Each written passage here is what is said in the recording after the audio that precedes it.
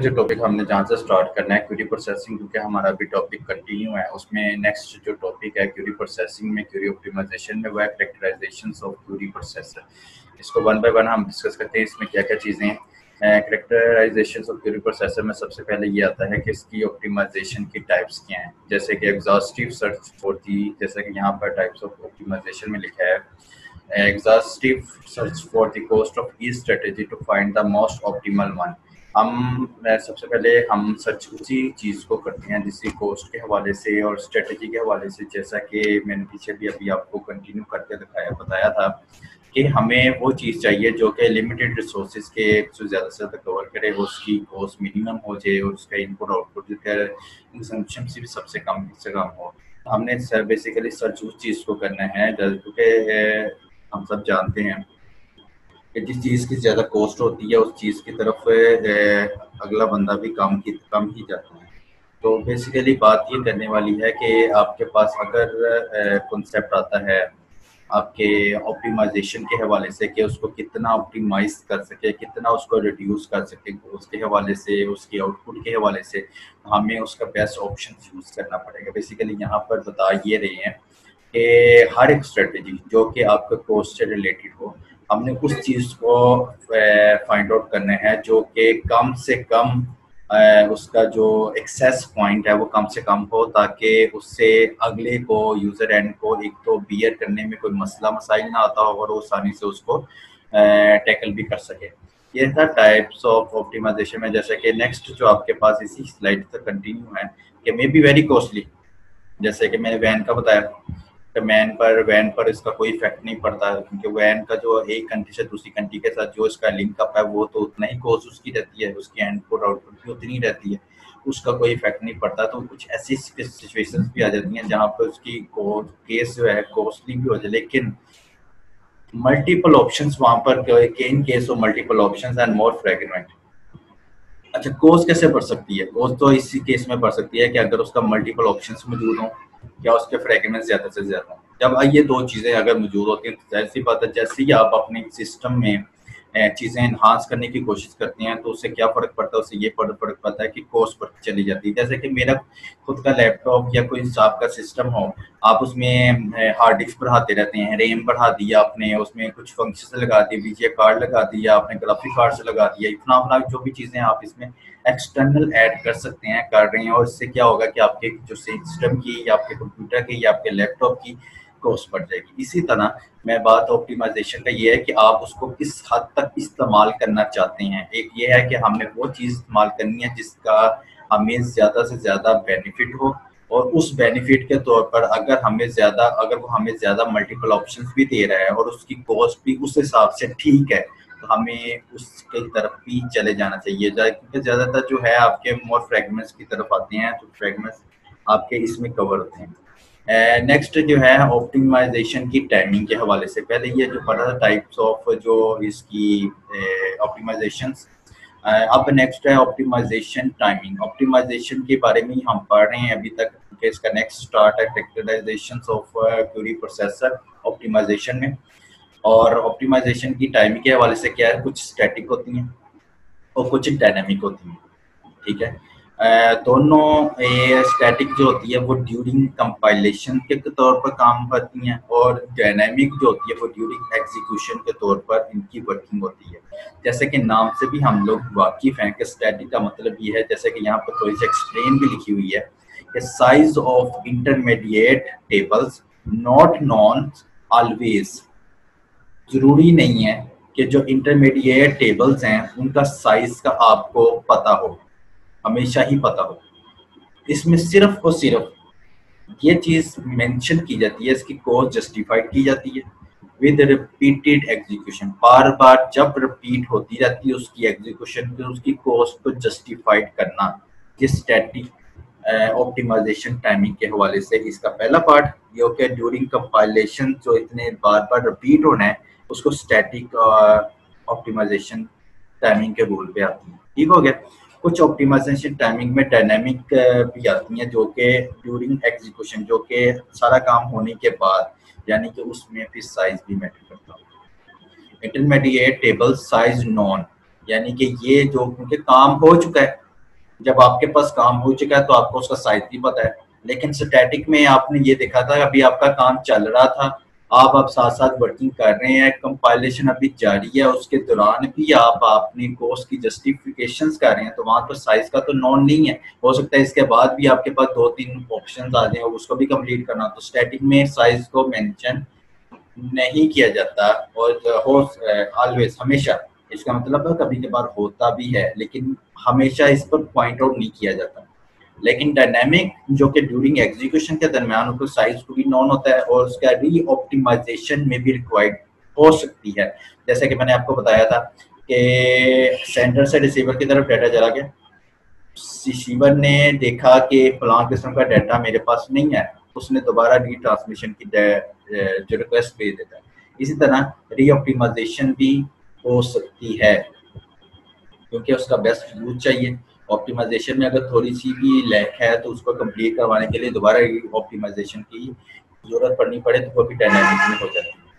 अब स्टैटिक के हवाले से देखते हैं। स्टैटिक के हवाले से जैसा कि आपको स्लाइड में नज़र आ रहा है कि रिलेशंस और फ्रेगमेंट हमें पता है फ्रेगमेंट्स वो चीज़ होती है कि जिसमें हमारे पास अगर एक टास्क हो, उसको छोटे छोटे हिस्सों में तकसीम कर देना डिवाइड कर देना।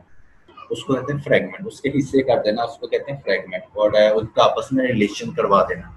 तो ज़ाहिर सी बात है, जो फ्रेगमेंट करती हैं तो वो आपस में रिलेट ही कर रहे होते हैं, क्योंकि एक ही पार्ट के दो तीन पार्ट में तकसीम हुए होते हैं। Cardinality size of tuple statistics में क्या क्या चीज़ें देखी जाती हैं? फ्रेगमेंट्स रिलेशंस में जो कि फ्रेगमेंट जो हिस्से किए जाते हैं, वो कार्डिनैलिटी के तौर पर साइज़ ऑफ़ टपल के तौर पर fractions of tuple participating in a join with another relation जो आपकी टपल्स की पार्टिसिपेटिंग है, वो ज्वाइंट्स के साथ उनकी रिलेशन बनता है एक का दूसरे के साथ। ज्वाइंट्स हो जाती है। बात है, आपकी जो फ्रेगमेंट है, और फ्रेगमेंट हमने जो कंप्यूटर नेटवर्क में भी पढ़ा हुआ है कि फ्रेगमेंट का पार्ट ही होता है जो डिस्ट्रीब्यूट कर देते हैं और एक पार्ट को डिफरेंट साइड पर डिस्ट्रीब्यूट कर देते हैं। फ्रेगमेंट उसे कहते हैं। तो उसके साइज़ ऑफ़ टपल के हिसाब से अगर पार्टिसिपेंट करवाया जाए, एक रिलेशन से दूसरे रिलेशन से रिलेशन के साथ, वो कैसे करवाया जाता है? वो ज्वाइंट्स के साथ करवाया जाता है। ये हो गया स्टैटिक्स या रिलेशन के फ्रेगमेंट के हिसाब से। और दूसरा है कि आपके एट्रीब्यूट के हिसाब से। एट्रीब्यूट हमें, जैसे कि हमें हमारे पास स्केच डेटाबेस में बन गया एट्रीब्यूट्स को कॉलम कहते हैं, ठीक है? Cardinality of the domain actual number of distinct value जो भी आपके नंबर्स हैं वैल्यूज़ हैं वो मेंशन आउट होने चाहिए और उसमें किसी किस्म का शक शुबा नहीं होना चाहिए। कार्डिनलिटी ऑफ़ द डोमेन जो आपने उस सब्जेक्ट की यूज़ करनी है, वो भी आपकी स्टैटिक्स में आती है। उसके बाद है डिसीज़न साइट्स सेकंड वन है डिसीज़न स्टैटिक्स के बाद डिसीज़न साइट जो कि अभी भी आपको ऑप्टिमाइजेशन का कॉन्सेप्ट है कि सेंट्रलाइज्ड डिसीज़न साइट कौन करता है ज़्यादातर? सेंट्रलाइज में क्या होती है? सिंपल होती है। और उसमें क्या होता है कि आपको तमाम डिस्ट्रीब्यूट डेटाबेस के बारे में नॉलेज की ज़रूरत होती है। ठीक है? सेंट्रलाइज हो तो वो सिंपल लेकिन अगर डिस्ट्रीब्यूटेड डेटाबेस के हिसाब से हो तो जारी सी बात है आपको तमाम नेटवर्क की इंफॉर्मेशन या नॉलेज को मालूम होना चाहिए। क्योंकि हम जो पढ़ रहे हैं क्यूरी ऑप्टिमाइजेशन क्योंकि हम सब्जेक्ट भी डिस्ट्रीब्यूटेड डेटाबेस का ही पढ़ रहे हैं तो डिस्ट्रीब्यूटेड डेटाबेस का मतलब यही है कि अपने डेटाबेस को दूसरे तमाम साइट जितनी भी आपकी मेंशन है, उस पर डिस्ट्रीब्यूट कर देना, फिर उसके बाद उसका एक्सेस करना। अगर लेकिन सेंट्रलाइज तो बेसिकली बहुत आसान डिसीज़न हो जाता है, क्योंकि एक ही साइट को आपने यूज़ करना होता है। तो वो सिंपल है, लेकिन डिस्ट्रीब्यूटेड डेटाबेस में आपको क्या करते हैं कि आपको नॉलेज जो हर एक एंटायर जितने भी आपके पास सिस्टम या साइट्स या डिवाइसेस पड़ी हैं, उन तमाम के जो डाटा है, उसकी नॉलेज है, उसको हासिल करना ज़रूरत पड़ जाती है। अच्छा डिस्ट्रीब्यूटेड के हवाले से, ये तो था सेंट्रलाइज के हवाले से, अब था डिस्ट्रीब्यूटेड के हवाले से। सेंट्रलाइज के बाद उसने डिस्ट्रीब्यूटेड के ऊपर भी आपको पहले लाइन पर उसकी वजाहत कर दी। लेकिन डिस्ट्रीब्यूटेड में क्या कहते हैं? कॉरपोरेशन कॉरपोरेट करते हैं आपस में। जो मैं बातें कर रहा हूँ, वही चीज़ें दोबारा रिपीट हो रही हैं। कि कॉपरेट किया जाता है among the site to determine the schedule सारी सी बात है, सारी साइट जो आपस में अटैच हैं और सबके पास तमाम किस्म का डाटा है कहीं से किसी को एक्सेस करने की ज़रूरत पड़े। तो अपने नियर बाय में जो भी उसके पास साइट होगी, या कोई भी उसके पास डिवाइस होगी, या कोई भी उसके पास सिस्टम होगा, वो वहाँ से एक्सेस कर लेगा। उसको ज़्यादा रश में जाने की ज़रूरत नहीं पड़ेगी सेंट्रलाइज होने की ज़रूरत भी नहीं पड़ेगी, उसको एक सिटी से दूसरी सिटी में भी जाने की ज़रूरत नहीं पड़ेगी। जो उसके नियरली पास्ट होगा, वहाँ से उसको जवाब मिल जाएगा। उसको कहते ही डिस्ट्रीब्यूटेड है। इसमें आपस में आपने देखा है कि इनके दरमियान जो जितनी भी साइट्स हैं, उनमें आपस में कॉपरेट हो रहा होता है आपस में डिसीज़न हो रहा था। जैसे मैंने स्टार्ट में भी बताया था, पहले वीडियोस में जब डिस्ट्रीब्यूटेड का एक्सप्लेन कर रहा था, तब भी बताया था कि डिस्ट्रीब्यूटेड में क्योंकि हर एक साइट पर डाटा मौजूद होता है तो ये नहीं हो सकता कि हर साइट अपना डाटा का आंसर कोई अगर चीज़ मांगे तो सारे ही उस पर मुतमिन होकर अपना अपना डाटा सेंड करने लग जाए। तो इससे रश बढ़ जाता है। लेकिन नुकसान ये, इसमें फ़ायदा ये है डिस्ट्रीब्यूटेड में कि आपस में तमाम साइट जब रिक्वेस्ट आती है तो तमाम साइट आपस में कोऑपरेट करती हैं। आपस में ये डिस्कस करती हैं कि कौन नियर बाई है और किसको डाटा सेंड करना चाहिए। या क्यूरी लगी होती है, उस क्यूरी के ज़रिए वो फलान जो डिपार्टमेंट है, जो उसके बहुत नियर होता है, वहाँ से डाटा उसको दे दिया। बाकी डाटा नहीं सेंड करते। क्योंकि उसको एक जगह से जब डाटा मिल जाएगा तो डिस्ट्रीब्यूट की एग्ज़ाम्पल जो है डिस्ट्रीब्यूटर की जो भी डिटेल है, वो फुलफिल होगी। अगर इसमें हम सबसे ही डाटा भिजवाते रहे तो इसका फ़ायदा क्या डिस्ट्रीब्यूटर को? ठीक है ना? जो चीज़ का फ़ायदा लेना है, वो चीज़ हम ले रहे हैं। सेकंड है हाइब्रिड सॉरी थर्ड है हाइब्रिड पहला है सेंट्रलाइज जिसमें एक ही पार्ट है, जो कि सिंपल है। और इसमें आपको डिस्ट्रीब्यूटेड डेटाबेस के तमाम इंटायर की इंफॉर्मेशन आपके सेंट्रलाइज में मौजूद होती है। उसकी ज़रूरत होती है। लेकिन डिस्ट्रीब्यूटेड में क्या होता है? पहली साइड डिसीज़न साइड में मैं दोबारा रिपीट कर देता हूँ। सेंट्रलाइज में आपका जितना भी क्यूरी ऑप्टिमाइजेशन का क्यूरी प्रोसेसिंग का अमल है, वो सिंपल है। और उसमें तमाम डिस्ट्रीब्यूटेड जितने भी डेटाबेसेस हैं, उसकी तमाम नॉलेज की ज़रूरत उसको पड़ती है। क्योंकि एक ही सिस्टम है, जिसमें सारा डाटा मर्जअप करके रखा गया हुआ है। लेकिन डिस्ट्रीब्यूटेड में सेकंड जो ऑप्शन है, कि तमाम के पास डाटा मौजूद होता है और तमाम जो है आपस में कोऑपरेट करते हैं और उसके मुताबिक अपनी जो नॉर्मल एग्जीक्यूशन है वो करते हैं। ठीक हो गया? तो इनको जो नीड ओनली लोकल इंफॉर्मेशन यानी कि डिस्ट्रीब्यूटेड में नीड ओनली लोकल इन्फॉर्मेशन का मतलब भी वही है जो मैं आपको बता चुका हूँ, जो नियर बाई होगा उसके लोकली पर मौजूद है, उसके, उसकी बस ज़रूरत होगी उसको तो ये डिस्ट्रीब्यूटेड का भी डिसीज़न साइट्स होगी। हाइब्रिड साइट्स की डिसीज़न साइट्स क्या होती हैं?